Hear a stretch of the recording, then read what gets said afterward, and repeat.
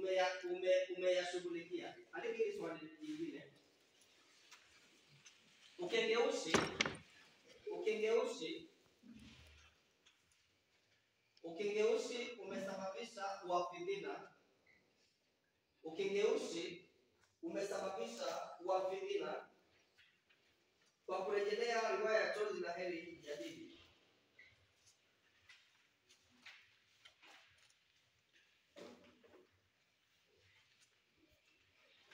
Ukengeushi ukengeushi umesababisha uafidhina kwa kurejelea riwaya ya Chozi la Heri Jadidi.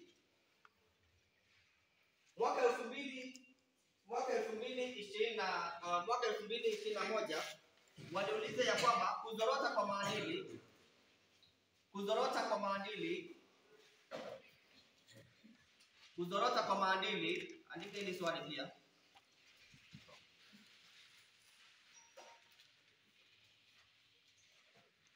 Kumesababisha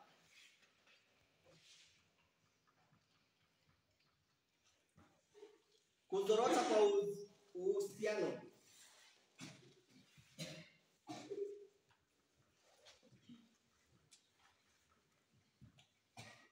Kuzorota kwa maadili kumesababisha kuzorota kwa uhusiano. Dhana hii ni dhana ambayo inarejelea vipengele viwili na vipengele hivi viwili ni vya kimaudhui, ya kwamba si kama vile ambavyo tulitahini mwaka wa elfu mbili kumi na tisa ambapo tulitahini mbinu za lugha na maudhui, vipengele vi- viwili tofauti.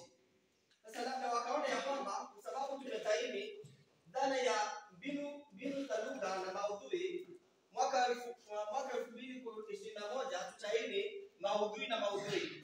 Wakasema jadili jinsi ambavyo kuzorota kwa maadili kumesababisha kuzorota kwa mahusiano, na kwamba mwanafunzi ambaye ataamua sasa aeleze tu kuzorota kwa maadili, aseme jinsi ambavyo watu wamezorota kimaadili na atoshe kueleza jinsi ambavyo kulisababisha kuzorota kwa uhusiano, atakuwa amekosea, kwa sababu atakuwa amewasilisha suala ambalo lilikuwa linahitajika. Na nadhani ya kwamba suala hili limejitokeza tu hivi majuzi katika karatasi ya tatu, lakini ni suala ambalo limekuwa tangu kitambo katika karatasi ya pili. Kwa mfano, unaambiwa andika sentensi ifuatayo katika hali ya ukubwa wingi katika hali ya ukubwa wingi, ya kwamba ni lazima uandike ile sentensi katika hali ya ukubwa na pia vile vile iandikwe katika hali ya wingi. Iwapo utaamua kuchukua kauli moja uandike ile sentensi katika hali ya ukubwa, utakuwa umekosea kwa sababu hautakuwa umeandika ukubwa wingi. Na iwapo utaamua kuandika ile sentensi katika hali ya wingi bila kurejelea ukubwa, basi utakuwa umekosea. Na basi tunaona ya kwamba dhana hiyo imezoeleka na imeeleweka katika karatasi ya pili basi wanachukua ile dhana katika karatasi ya, ya, pili na kuileta katika karatasi ya tatu ambapo wanasema ya kwamba sasa unaweza ukaletewa vipengele viwili na kuonyesha jinsi ambavyo inafanikisha. Wakauliza mwaka wa elfu mbili kumi na tisa mbinu rejeshi jinsi ambavyo inatumika kufanikisha maudhui.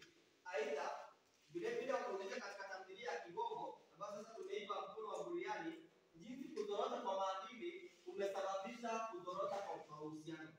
Na nilikuwa naambia wanafunzi wangu ya kwamba unaweza ukaambiwa jinsi, andika katika tamthilia katika katika tamthilia ya Embelea Maisha, jinsi ubabe dume jinsi ubabe dume umesababisha matatizo katika familia ama katika ndoa, jinsi ubabe dume umesababisha um, matatizo katika ndoa ama katika familia, katika ndoa ama familia. Hayo ni maudhui mawili, maudhui mawili ambayo yanaonyesha uonyeshe jinsi ambavyo yanavyohusiana yale maudhui mawili, kwa sababu ni dhana ambayo imetainiwa pale, na basi swala ambalo halijatainiwa halijatainiwa mpaka kwa sasa katika vipengele vya mwingiliano wa vitusi ni wahusika na wahusika wahusika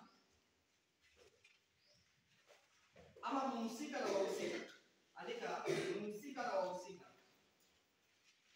Kipengele cha mhusika na wahusika, jinsi ambavyo mhusika amefanikisha wahusika, jinsi mhusika amefanikisha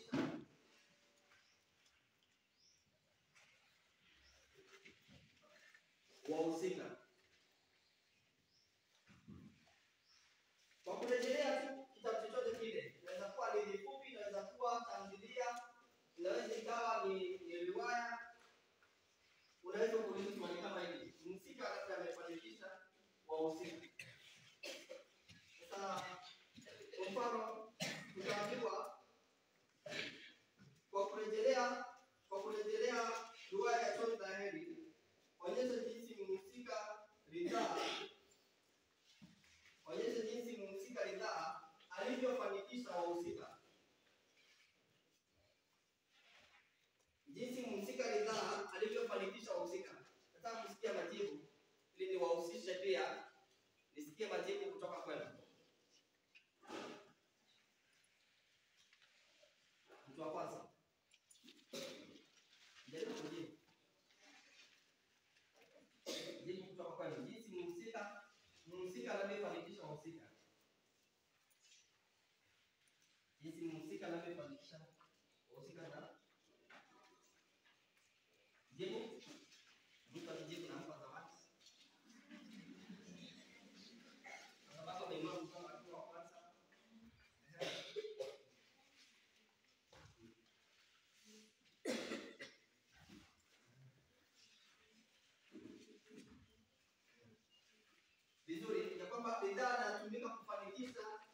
mhusika lazima anapokumbuka mazungumzo yake pamoja naye kwamba yeye anataka kuwa na- nani mwanasheria, ni lazima uonyeshe ile sifa ambayo amemfanikisha. Ukisema tu ametumika kufanikisha mhusika fulani, kwa mfano au umekamilisha, ni lazima useme ni sifa hipi ambayo anampa yule mhusika ambaye amefanikisha. Hivi hoja nyingine unajua hoja zitakuwa nyingi kwa sababu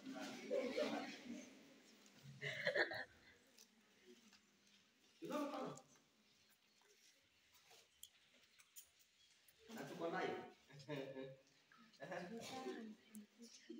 Nani?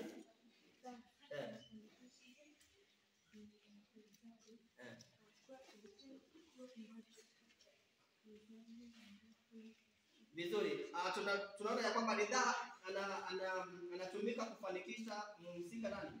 Mhusika Kaisari kwa sababu anaonyesha nini? Anaonyesha ya kwamba Kaisari ni mchapakazi, ni mwenye bidii, anakuwa nani? Mkurugenzi katika pale hospitali, si ndio? Anampa kazi katika hospitali ya ilikuwa hospitali gani?